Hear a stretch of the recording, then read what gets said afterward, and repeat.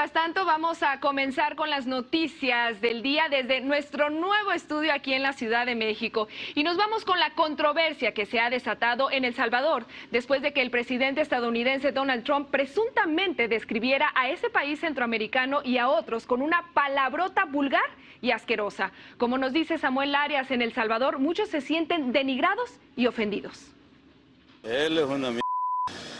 Sí, porque no importa lo que tenga, este eso no quiere decir, eh, el mismo hoyo se va a ir y, los mismos gusanos se lo van a hartar a él también.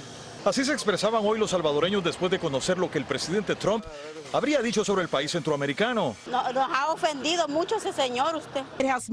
Esto en respuesta al comentario ofensivo que varias fuentes le atribuyeron al presidente Trump en una reunión sobre DACA y en el que habría calificado a El Salvador, Haití y otras naciones africanas como países de mierda. En las calles de San Salvador las reacciones no se hicieron esperar. La gente estaba indignada y muchos no dejaban de expresar enojo contra el presidente de Estados Unidos. No, que ni se aparezca, pues, aquí en El Salvador. Que pida disculpas. Hasta le enviaron mensajes en inglés. Donald Trump, I'm sorry for you.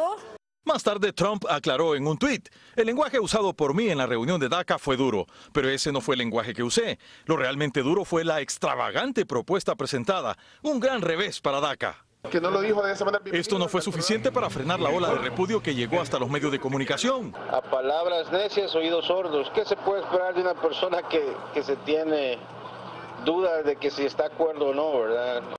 Las redes sociales también han sido un medio de desahogo donde los salvadoreños expresaron su rechazo a través de divertidos memes. Por su parte, la embajadora de Estados Unidos, Jane Mains, declaró en su cuenta de Twitter, He tenido el privilegio de viajar alrededor de este hermoso país y conocer a miles de salvadoreños. Es un honor vivir y trabajar aquí.